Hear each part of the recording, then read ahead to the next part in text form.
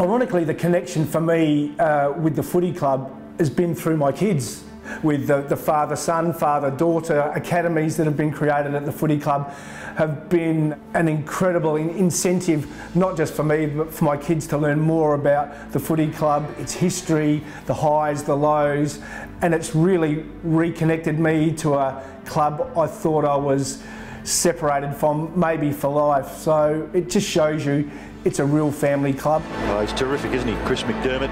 He really is uh, the epitome of the Adelaide Crows. It's hard to describe the emotion that you feel when your kids um, embrace your history. Um, you know, we've got photos in my in my house with my kids in club colours on Adelaide Oval.